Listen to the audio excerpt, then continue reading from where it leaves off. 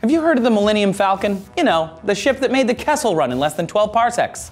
Never mind the mistaken parlance there. How fast is that old bucket of bolts? Happy May the 4th, Padawans. Today on Star Wars Appreciation Day, we thought we'd pull some of the magic out of the fabric of spacetime. See, every nerf herder in the verse knows that Han Solo's ship is really fast, but even in a galaxy far, far away, the laws of physics should still apply. So based on our physics, could the Falcon actually do this?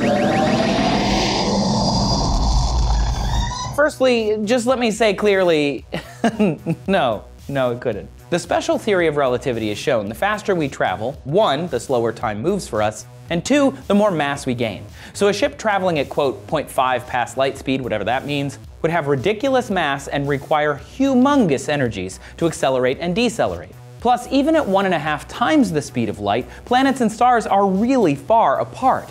Even if 0.5 is one and a half times the speed of light, it would still take five and a half minutes to go from the sun to the Earth, and even at their closest, two hours and 45 minutes to get to Pluto. Let's say you could actually travel the speed of light, even for a minute.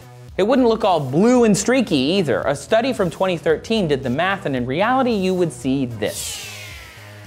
Basically, the Doppler effect comes into play at those speeds. Doppler shift means as you go faster, waves of energy appear to shorten. So the screech of a TIE fighter or ambulance would be higher as it approaches you and then lower after it passes you.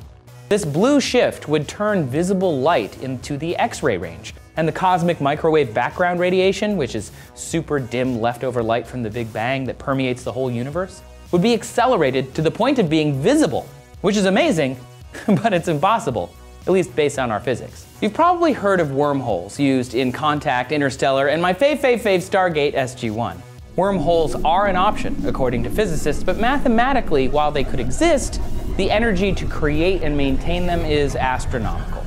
Let's just say that this is beyond our understanding right now. So, to find out what might not be, I reached out to physicist Dr. Casey Handmer, and he said, if you ask an expert, is faster than light travel impossible?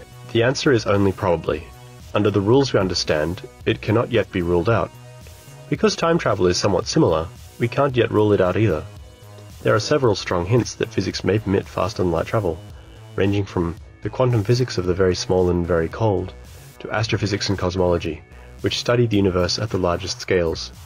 These hints warrant further investigation. There is, of course, another option. The hyperdrive somehow jumps the ship out of our dimension of space-time, meaning that we don't have to contend with the boring old laws of our physics. String theory says that there are higher dimensions that behave differently, but we're just beginning to understand that. And as Casey told me, any self respecting physicist would respond to faster than light travel like that with a big old shrug. All this just shows that even a long, long time ago, in a galaxy far, far away, a smuggler could have taken our smartest minds to school on higher physics.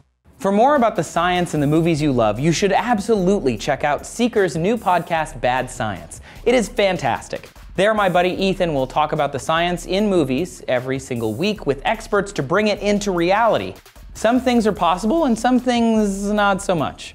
Tune in wherever you get your podcast to find out which is which. There is a link in the description. Science doesn't ruin everything. Take parallel universes, for instance. Watch this video about where one might have bumped into ours. One last thing, some nerds did the calculations, and the Falcon might top out at over a thousand light years per hour. Star Trek's Warp 8, that's only 0.6 light years per hour. Ooh, sorry, Jean-Luc.